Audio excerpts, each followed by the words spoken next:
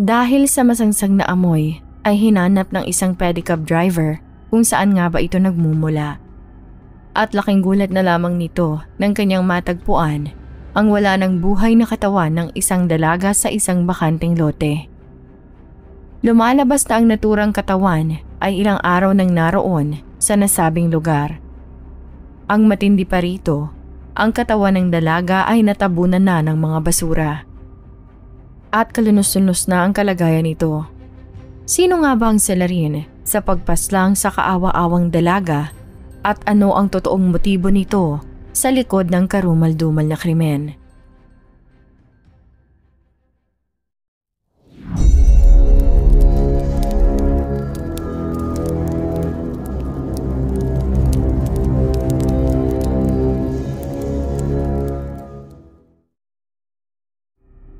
Ikadalawamput-walo ng buwan ng Hulyo taong 2023, alas tres ng hapon, ay nakatanggap ng report ang NCPO Police Station 3 Headquarters sa Naga City. Patungkol sa natagpo ang wala ng buhay na katawan ng isang dalaga sa isang abandonadong bahay sa Barangay Liboton.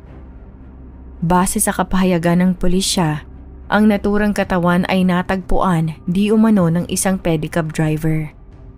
Nakaamoy ng masangsang na amoy ang pedicab driver kung kaya ay sinubukan nitong hanapin ang pinanggagalingan ng masangsang na amoy.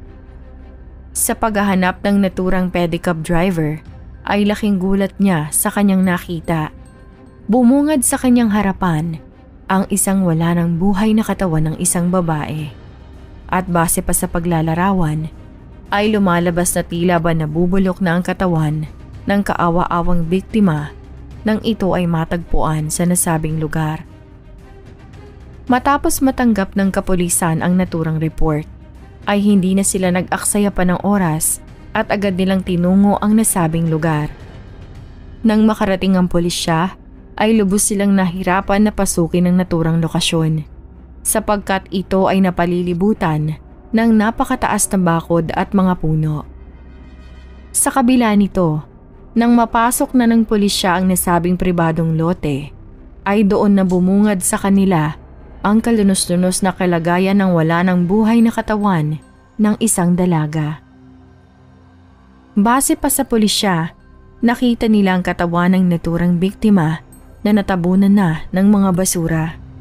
Ang matindi pa rito, nang suriin na ng pulisya ang biktima, ay nakita nila na wala na itong suot na pang ibabang kasuotan. Mula din sa lugar kung saan natagpuan ang kaawa-awang biktima ay natagpuan din ng mga kapulisan ang isang bag, payong at tsinelas. Sa mga panahong iyon ay hinihinala na ang mga kagamitan na natagpuan ay pagmamayari di umano ng naturang biktima. Kalaunan ay namataan din ng pulisya ang isang lagari at ang isang martilyo at lumalabas na posibleng ito ang ginamit ng selarin para paslangin ang kaawa-awang dalaga. Sa mga oras na iyon ay nananatiling palaisipan para sa mga kapulisan ang pagkakakilanlan ng kaawa-awang dalaga dahil sa kalunos-lunos na kalagayan ng katawan nito. Ganun pa man ay naniniwala sila na posibleng ang biktimang natagpuan sa pribadong lote ay ang nawawalang estudyante. Nasa mga panahon na iyon ay anim na araw na ring nawawala ikadalawamput siyam ng Hulyo taong 2023, nang sumunod na araw.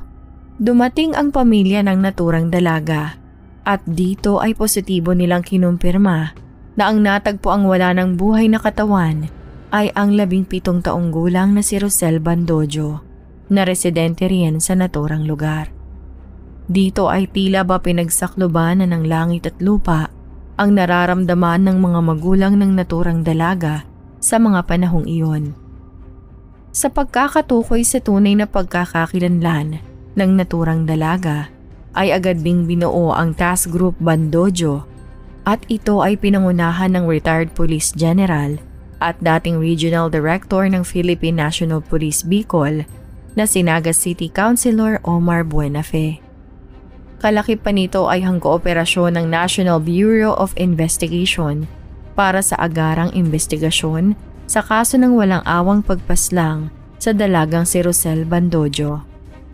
Base sa ulat, ay lumalabas na nawawala si Rosel noong ikadalawamput-tatlo ng buwan ng Hulyo taong 2023. Mula dito ay mabilis ding kumalat sa social media ang post ng kapatid ng naturang biktima kaugnay ng pagkawala nito.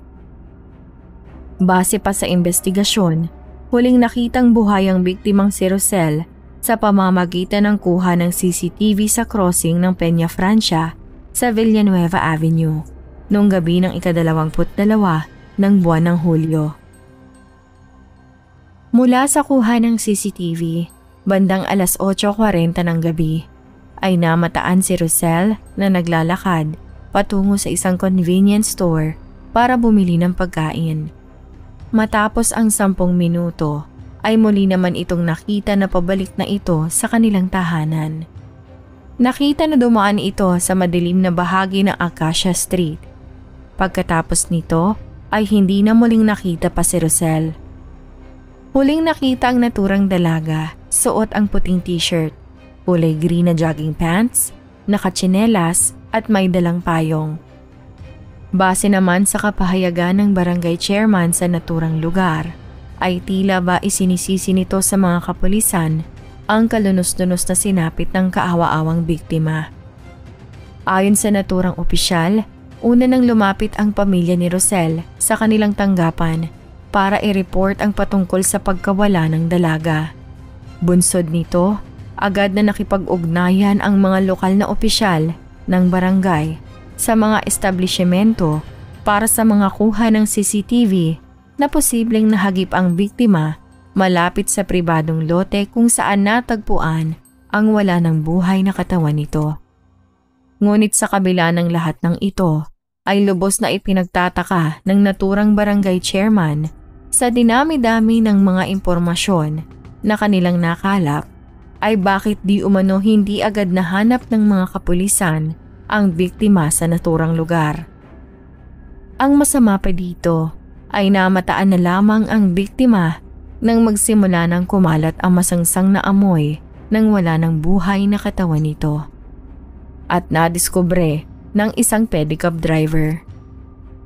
Para sa mas mabilis na pag-usad ng investigasyon, ay nag-alok ng halagang 100,000 pesos na pabuya si Mayor Nelson Legacion at idagdag pa dito ay nag-alok pa ng karagdagang 100,000 pesos na pabuya si Camarines Sur 3rd District Gabriel Bordado kasama pa ang negosyanteng si Nonoy Magtoto. Lumalabas na umabot sa halagang 300,000 pesos ang itinakdang pabuya para sa makapagbibigay ng impormasyon sa salarin sa likod ng walang awang pagpaslang sa dalagang si Rosel. Ang matindi pa rito ay nasabing pabuya ay lalo pang natagdagan nang dumulog ang pamilya ng biktima sa Rafi Tulfo in aksyon. Noong ikaapat ng buwan ng Agosto taong 2023. Kalakip nito ay ang paghingi ng tulong sa naturang programa para lalo pang mapadali ang pagkamit sa hustisya.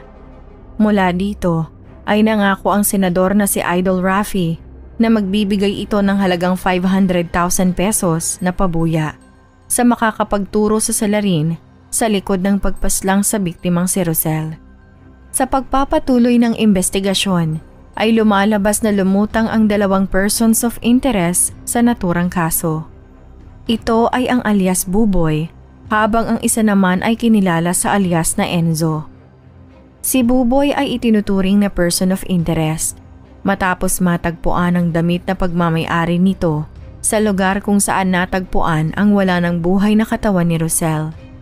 Ngunit ayon naman sa pahayag ni Buboy, ay may mga pagkakataong di umano na siya ay pumupunta sa bakanting lote at marahil ay posibleng dito niya naiwan ang naturang damit. Sa kabila nito ay mariin niyang itinanggi na meron siyang kinalaman sa nangyaring insidente. Sa pagpapatuloy ng investigasyon ay nagawa ng pulisya na mangalap ng ilan pang mga impormasyon na kalaunan ay magbibigay linaw sa pagkasawi ng biktimang si Rosel.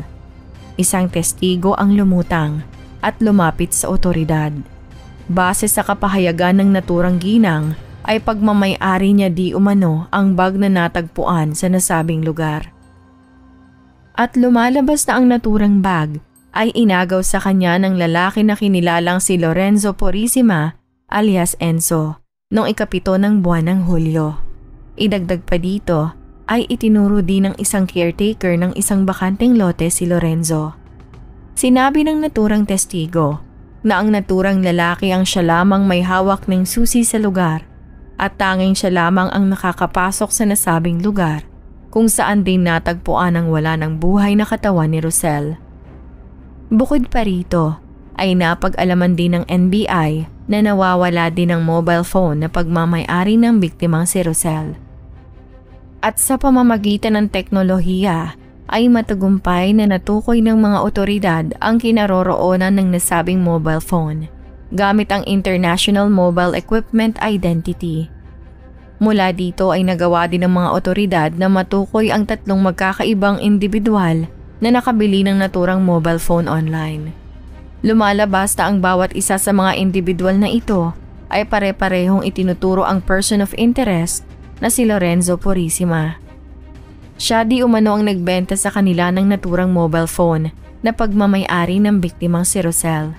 Habang pinag-aaralan ng kasong isasampa sa naturang selarin, ay matagumpay naman itong nadakip ng mga kapulisan noong ikaisa ng buwan ng Setyembre taong 2023. Pagsapit ng ikalima ng buwan ng Setyembre taong 2023, matapos ang limang buwan na investigasyon, kaugnay ng kaso ni Rosel, ay formal nang sinampahan ng kasong pagnanakaw at pagpaslang ang silarina si Lorenzo. Base sa isinagawang pagsusuri sa wala ng buhay na katawan ng biktima, ay hindi na nila nagawang makitaan ng mga senyales na hinalay ito dahil na rin sa halos nabubulok na ang naturang katawan. Bilang pagkilala sa isinagawang masusing investigasyon ng NBI, ay ipinagkaloob ni Senator Raffy Tulfo ang halagang 500,000 pesos na pabuya.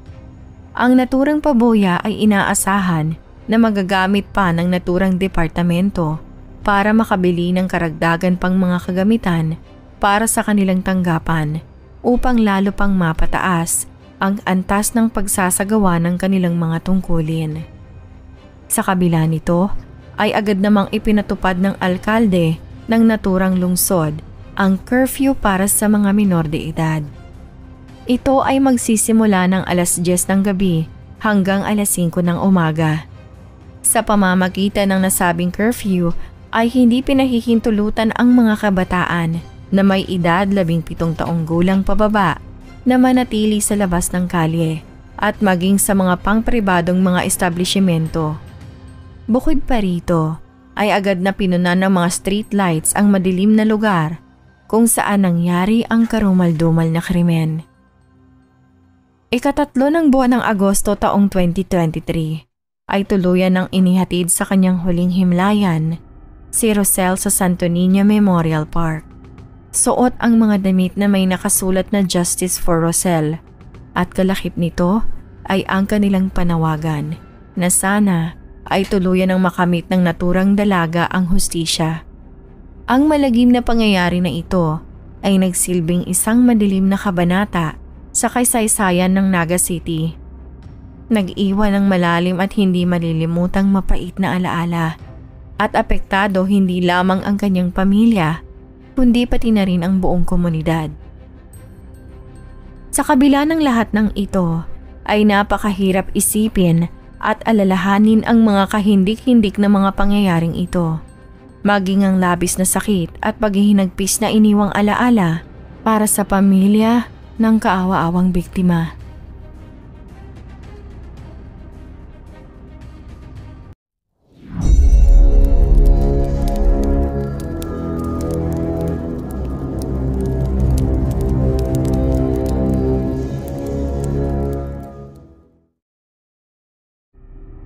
Maraming salamat sa panonood. Huwag mahiyang i-hit ang thumbs up para sa video na ito at mag-subscribe na sa ating channel para sa darating pang mga bagong videos. Manatiling ligtas at magkita-kita tayong muli sa ating susunod na video.